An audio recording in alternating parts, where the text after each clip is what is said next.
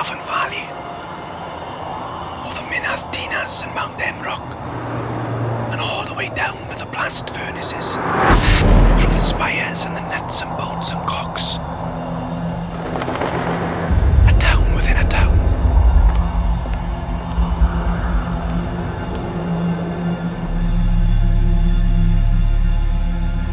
The plant here in Port Talbot dominates the local landscape, dominates the local economy. It's estimated that one job at the works helps to support up to seven others in the community. Rugby boys, football boys, fashion, sharp edge girls, fighters, tough men, drinkers, ravers, and addicts. Stars that shine. We birth these people. In our dreams, we soar above the black skies, spinning on multicoloured spirals. I really just want to be pushed and tested to really have my back up against the wall. I'd rather do it and fail than not. I want to be the fourth prodigal son. Smoke-filled sky. You know, you see some parts of it, it's like a spaceship. It's what makes the town special. Explosions rain gold on our heads and pump tar through our lungs. And we keep on shoveling. The things people do just to get by because there isn't a lot around here for everyone. We have real thick skin. It was kind of bred into us.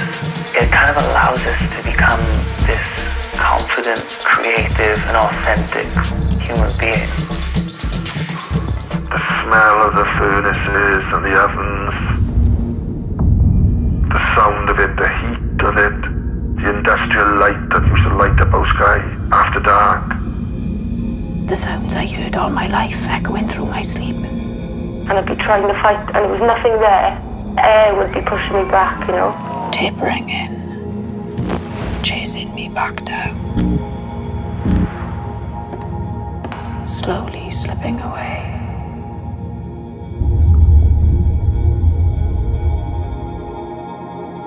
I missed the turn of the furnace. When they fired it up, You can't keep your feet on the floor for too long, otherwise you'll burn your boots. Just gotta keep on shoveling. If you don't want to be seen or you don't want to be spotted by anybody, you can just take all the back roads and the back routes and all the country lanes and you would never see anybody, you know? My mother's cooking.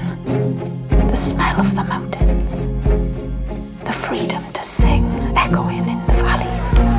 I'm proud to come from Talbot.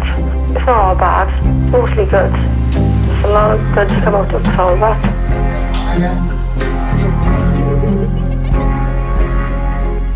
should we pray for things that cannot be? Should we pray for things that cannot be? I look out at the towers now and I tell my children. It's a cloud factory.